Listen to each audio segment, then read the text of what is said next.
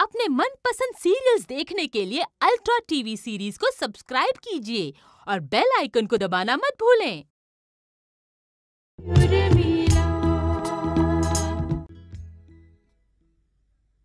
सुजाता बंगाल और आसाम के लिए जो प्रोडक्ट सप्लाई होनी थी वो हुई कि नहीं?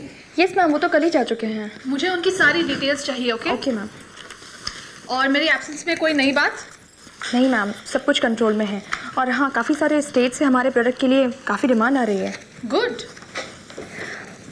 मैम निशांत सर आ गए क्या? नहीं सुजाता। वो तो अपने काम की वजह से नहीं आ पाए। लेकिन बड़े भैया आ गए हैं। बड़े भैया के आने से घर में बहुत चहल पहल हो गई होगी ना? हाँ सुजाता।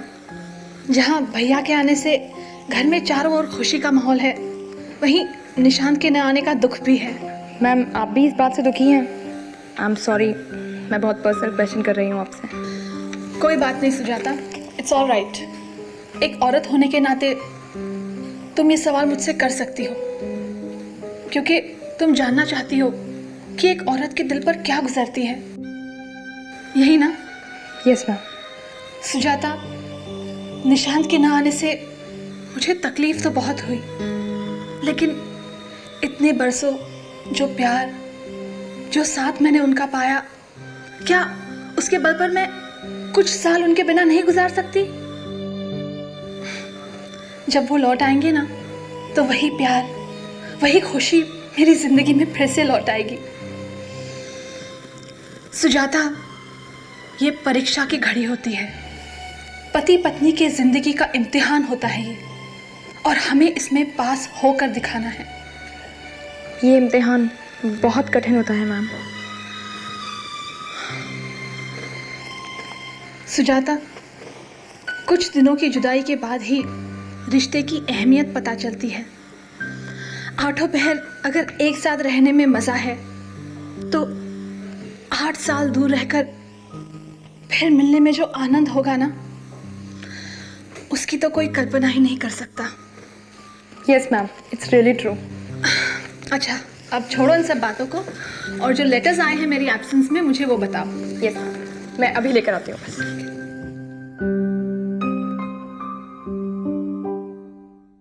तुमसे कितना प्यार है, दिल में उतर के तृप्ति? अरे तृप्ति, मैं कितना रोमांटिक मूड में है और तुम हो कि मुँह लटकाए बैठी, क्या बात है? राहुल प्लीज़ मुझे अकेला छोड़ दो। अकेला? अरे डार्लिंग तुम्हें अकेला कैसे छोड़ सकता हूँ? हाँ अगर तुम चाहो तो मैं दुनिया छोड़ सकता हूँ पर तुम्हें अकेला नहीं छोड़ सकता। राहुल प्लीज़ मज़ाक मत करो। मैं मज़ाक नहीं कर रहा हूँ तृप्ति। अच्छा अच्छा एक बात बताओ।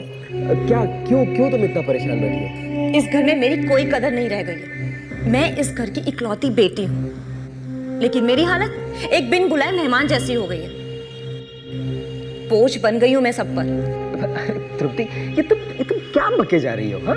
मैं बक नहीं रही हूँ बल्कि मैं तुम्हें सच्चाई बता रही हूँ। मेरी इस हालत के जिम्मेदार तुम हो राहुल। मैं तृप्ति मैं कैसे जिम्मेदार हुआ? राहुल अगर तुम किसी लायक होते ना तो मुझे ये दिन नहीं देखना पड़ता। वो गीता इस घर की मामूली सी नौकरानी। वो तक मुझे कुछ नहीं समझती है। अरे तृप्ति गीता तुम्हें कुछ नहीं समझती है तो इसमें मैं कसूरवार कैसे हुआ? हाँ? राहुल अगर तुम अपने पैरों पर खड़े होते ना और मैं तुम्हारे साथ तुम्हारे घर में जाकर रहती इस मायके में ना पड़ी होती ना तो मेरी ये बेइज्जती भी ना होती। अरे तृप्ति ये तुम्हें कभी कभी क्या हो जाता है हाँ? तुम ये सब बातें दिमाग से निकाल दो हाँ निकाल दो ये सब बातें दिमाग में कि ये तुम्हारा मैका है। क्या? ये मेरा मायका नहीं है? हाँ है ना? तुम्हारा मैका ही तो है। यहाँ तुम्हारे घर वाले हैं इसलिए तुम्हारा मैका है। पर यहाँ मैं भी रहता हूँ इसलिए तुम्हारा ससुराल भी है। मैका प्लस ससुराल टू इन वन है ना? देखो तृप्ति मैंने तुमसे पहले भी कहा था कि हम यहाँ से तब शिफ्ट होंगे जब हमारा जुहू पर तृप्ति विला बन जाएगा। दस बीस नौकर चाकर होंगे गाड़ियाँ होंगी यू नो ना जाने वो दिन कब आएगा। अरे डार्लिंग बहुत जल्द आएगा।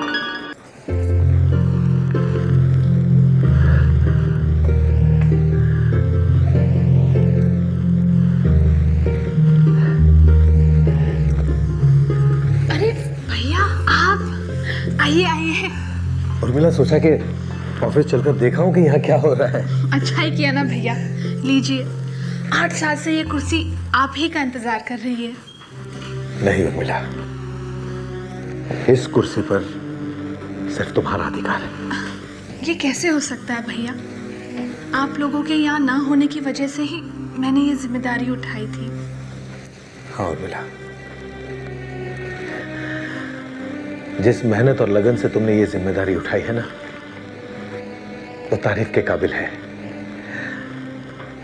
आज तुमने इस कंपनी को इतनी ऊंचाई पर पहुँचा दिया है कि मार्केट में हमारे प्रोडक्ट की सेल बढ़ गई है। ये सब तो आप लोगों के आशीर्वाद का नतीजा है भैया। उर्मिला तुमने ये साबित कर दिया है कि इस कुर्सी पर सिर्फ़ तुम ही बैठने के योग्य हो। अब मैं तुम्हारे नीचे रहकर काम करके तुम्हारी मदद करना चाहता हूँ। नहीं भैया मुझसे ऐसा पाप मत कराइए।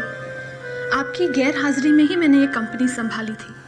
अब आप आ गए हैं तो इस कंपनी की एमडी की पोस्ट आपको ही संभालनी होगी। अगर इस कंपनी का एमडी मैं तुम्हें बना दूँ तो? भैया मैं इसके लिए तैयार नहीं हूँ। ठीक है। तो इस बात पर चर्चा हम बाबूजी के साथ बैठकर करेंगे। लेकिन फ़िलहाल तो तुम इस कुर्सी पर बैठ जाओ। नहीं भैया मैं वहाँ बैठ जाती हूँ। इस कुर्सी पर आप ही बैठिए। और मिला आइए ना भैया प्लीज़ प्लीज़ भैया। ओके।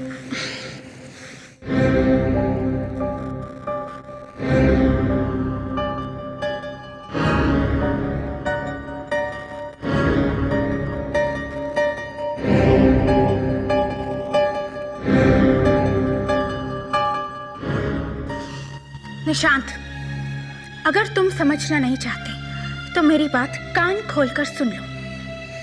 दो नावों पर सवार होकर तुम ज़िंदगी नहीं गुजार सकते। One in hand one in bush मुझे ऐसा बटा हुआ प्यार नहीं चाहिए। इन सब बातों का कोई मतलब है क्या? पूरी दुनिया अपने को दूसरों के साथ बांटती है। एक इंसान कई रिश्तों में बटा होता है। लेकिन प्यार सिर्फ़ एक से होता है। घर सिर्फ़ एक के साथ ही बसाया जा सकता है। संजना हम दोनों की ज़िंदगी की हकीकत एक है। और तुम्हें इस बात को स्वीकार करना होगा। मैं तुम्हारे लिए क्या हूँ निशांत? क्या सिर्फ़ एक एक्सपीरियंस एक तजुर्बा? नहीं तुम पत्नी हो मेरी। शादी की है मैंने तुमसे। तो फिर मुझे छोड़कर जाने की बात क्यों करते हो? क्योंकि मैं बटा हुआ हूँ। मेरी ज़िंदगी के दो हिस्से हैं। एक जो तुमसे जुड़ा हुआ है और दूसरा उर्मिला से। मैं ये सब नहीं जानती निशांत। मैं सिर्फ़ ये जानती हूँ कि मैं मिसेस निशांत हूँ। और हमेशा यही बनी रहना चाहती हूँ। संजना मुझसे जुड़कर तुम्हें उन रिश्तों से भी जुड़ना होगा। किस तरह जुड़ूँगी मैं तुम्हारे उन रिश्तों से? दूसरी बनकर दूसरी पत्नी कहलाकर? नहीं निशांत मुझसे ये सब नहीं होगा। संजना तुम इस सच्चाई से भाग नहीं सकती। तुम्हें इस हकीकत का सामना करना ही होगा। ये कहकर तुम मेरी इंसल्ट कर रहे हो। मेरे प्यार मेरे रिश्ते मेरी भावनाओं को गाली दे रहे हो तुम। संजना अगर तुम मुझे संपूर्ण हासिल करना भी चाहो तो कैसे करोगे? पता नहीं। संजना मेरे ज़िंदगी के हिस्से हमेशा उर्मिला के साथ जुड़े रहेंगे। मैं तुमसे पूछती हूँ निशांत क्या तुम्हारी उर्मिला तुम्हें मेरे साथ शेयर करने को तैयार हो जाएगी? बोलो निशांत चुप क्यों हो? अगर मैं तैयार हो भी जाऊँ तो तुम्हारी वो उर्मिला दो बच्चों की माँ तैयार हो जाएगी जिसके नाम से ही लगता है कि वो एक नंबर की अनपढ़ गवार she is a bloody uneducated fool Sanjana कुछ गलत नहीं कह रही हूँ मैं। उसको बिना मिले बिना देखे मैंने पूरा अंदाज़ा लगा लिया उसके बारे में। वो तो तुम्हारे दो बच्चों को संभालने वाली आया है और तुम उसके लिए जाना चाहते हो? छी दैट ब्लडी सर्वेंट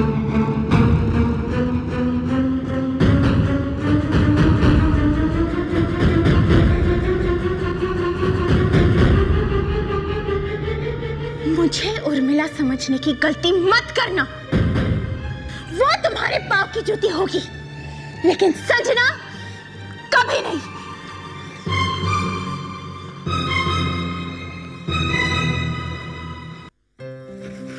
भैया मैं चाहती हूँ कि आप इस कंपनी की प्रोग्रेस रिपोर्ट और सेल परचेज चेक कर लें। उर्मिला तुमने इसे चेक तो किया ही होगा। मुझे अलग से चेक करने की क्या ज़रूरत है? भैया हो सकता है कि मुझसे कहीं कोई गलती हो गई हो। वैसे भी मैं कितनी भी कोशिश कर लूँ आप जैसे अनुभव तो पा ही नहीं सकती ना। उर्मिला तुमने अकेले अपने दम पर आठ सालों से इस कंपनी को संभाला है। ये ये अनुभव क्या कम है? फिर भी अगर तुम कहती हो तो मैं इसे चेक कर ही लेता हूँ। नमस्ते मैडम जी। कहिए कैसी हैं आप? तुम तुम्हें अंदर आने की परमिशन किसने दी? निकल जाओ यहाँ से। जाता हूँ जाता हूँ। पहले मेरी बात तो सुन लीजिएगा मुझे तुम्हारी कोई बात नहीं सुननी। प्लीज़ गेट आउट उर्मिला ये कौन है? भैया ये सुजाता का पति है। बार बार यहाँ आकर परेशान करता है। भगवान की कसम आज तो मैंने सूँगी भी नहीं है मैडम जी। तुम, तुम बस चले जाओ। तुम यहाँ क्या कर रहे हो? तुम चलो यहाँ से। तुमको यहाँ आने के लिए किसने बोला है? सुजाता मैंने तुम्हें मना किया है ना कि इसे यहाँ नहीं बुलाओ। मैम मैंने इसको मना करने की कितनी कोशिश की लेकिन ये मेरी बात मानता है। तुम चलो यहाँ से। ये अगर इस तरह कहने से नहीं मानता तो पुलिस को इन्फॉर्म करो। ज़बरदस्ती ऑफ़िस में घुसने का क्या मतलब है? मैं तो सिर्फ़ ये कहने आया हूँ मैडम जी कि आज के बाद सुजाता की तनख्वाह आप मुझे दीजिएगा। क्यों? काम सुजाता करेगी और तनख्वाह तुम्हें मिलेगी? भाई मैं इसका पति हूँ। इसकी पूरी कमाई पर मेरा अधिकार है समझिए आप? ए मिस्टर तुम यहाँ से जाते हो या नहीं? पत्नी पर सिर्फ़ अधिकार जताना आता है। कर्तव्य निभाना नहीं। आप कौन हैं? तुम चलो यहाँ से ये हमारी कंपनी के मैनेजिंग डायरेक्टर है। अच्छा अच्छा। तो आप बहुत बढ़िया कर्तव्य निभा रहे हैं मिस्टर अपनी बीवी के साथ ना पिछले आठ साल से। अब आपको सुधाई अपनी बीवी की। पहले अपने घर में झांकिए श्रीमान। तुम होश में नहीं हो तुम चलो यहाँ से। पहले अपने घर में उनके झांकिए श्रीमान। फिर मुझसे बात कीजिएगा। अरे चलो यहाँ से तुम। देख लूँगा तुम लोगों को।